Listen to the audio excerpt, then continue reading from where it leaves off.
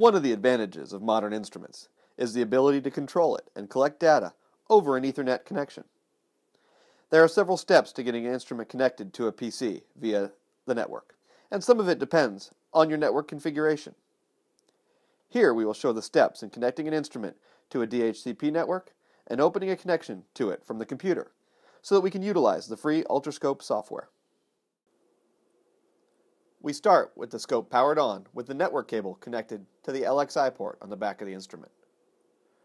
First, we go into the utility menu, then the I.O. setting menu, and we hit the LAN configure button.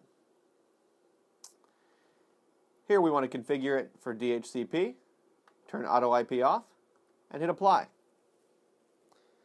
After several seconds, the scope will return with a valid IP address assigned by the DHCP server.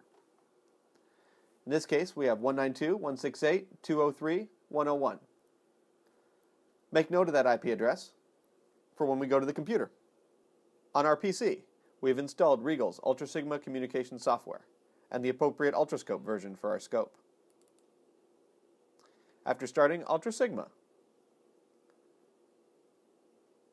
we then click on the LAN button, and here we can use the auto detect, to see if we can find our LAN instrument. There we've identified the same scope at 192.168.203.101. We can hit OK. Now that it's identified the scope, we can right click and select the Ultrascope software.